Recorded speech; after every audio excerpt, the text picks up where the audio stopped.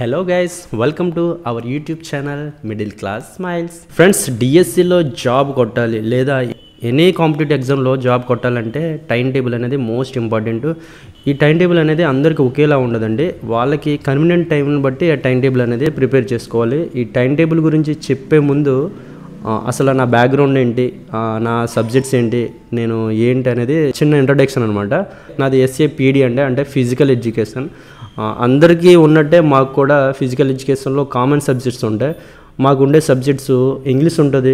ఎప్పుడు లేనిది first time two thousand ఎయిటీన్లో టెట్ ఎగ్జామ్ పెట్టడం జరిగింది మాకు. టెట్లో కూడా తెలుగు అనేది పెట్టడం జరిగింది. ఇంకా డిఎస్సి విషయంలో సైన్స్ ఉంటుంది general science anatomy and psychology ఉంటుంది జీకే అండ్ కరెంట్ అఫైర్స్ ఉంటుంది. ఇంకా మాకు స్పోర్ట్స్కి సంబంధించి కొన్ని సబ్జెక్ట్స్ ఉంటాయి.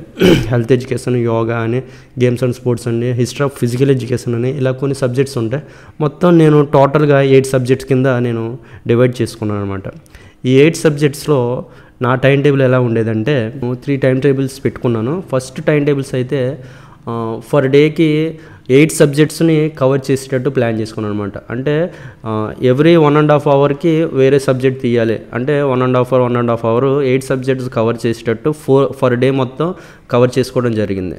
కానీ ఒక టూ డేస్ తర్వాత నాకు అనిపించింది ఈ టైం టేబుల్ అనేది నాకు సెట్ అవ్వట్లేదు అని అనిపించింది. ఫస్ట్ టైం టేబుల్ ఏం జరిగిందంటే ఒక సబ్జెక్ట్ చదివేటప్పుడు వన్ అండ్ హాఫ్ అవర్ అయిపోయేటప్పుడు మళ్ళీ టైం అయిపోతుంది. ఇక్కడ ఈ చాప్టర్ అనేది ఇంకా కంప్లీట్ అవ్వలేదు. నెక్స్ట్ సబ్జెక్ట్ తీయాలి అనే అని చిన్న కంగారు అనేది రావడం జరిగేది. సో ఈ కంగారు కంగారుగా చదవడం అనేది అస్సలు కరెక్ట్ కాదండి. మీరు పీస్ఫుల్గా కూల్గా మనం తీసిన సబ్జెక్ట్కి ఆ తీసిన చాప్టర్కి న్యాయం చేయాలంటే కూల్గా చదవాలి.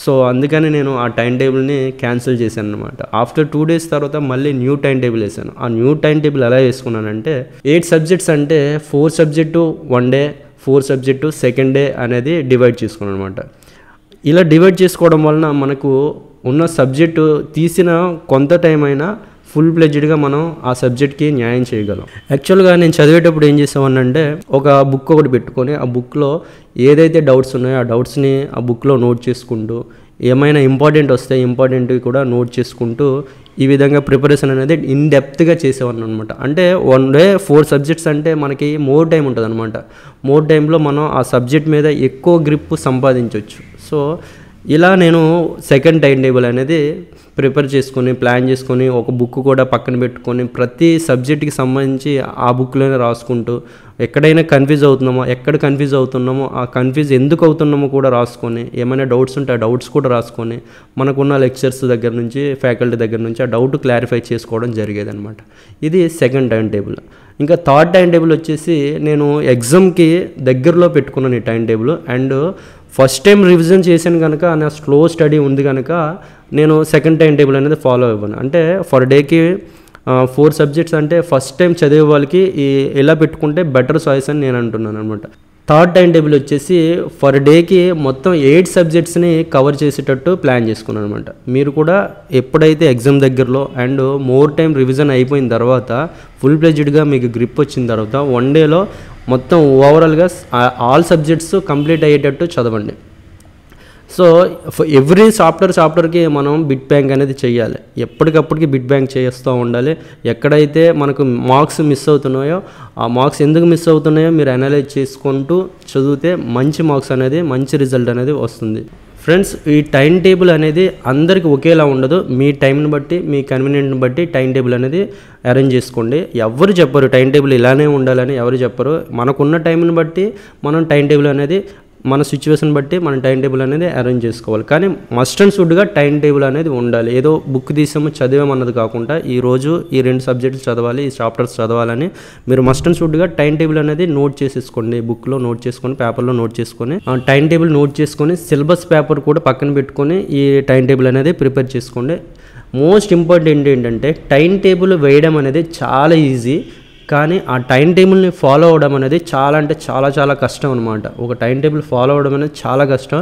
మీరు ఒక ట్వంటీ డేస్ ఆ టైం టేబుల్ని ఫాలో అవుతే చాలా గ్రేట్ అనమాట సో ట్వంటీ డేస్ వరకు మీరు ఎన్ని కష్టాలు వచ్చినా నిద్ర వచ్చినా ఏమొచ్చినా ట్వంటీ డేస్ ఈ టైం టేబుల్ని మిస్ అవ్వకుండా ప్లానెడ్గా చదవండి. సక్సెస్ అనేది వస్తుంది. ఫ్రెండ్స్ సక్సెస్ అనేది అంత ఈజీగా రాదు. సక్సెస్ అనేది ఈజీగా వస్తే అందరూ కూడా సక్సెస్ అయిపోతారు కదా. అందరూ కూడా గొప్పలు అయిపోతాం.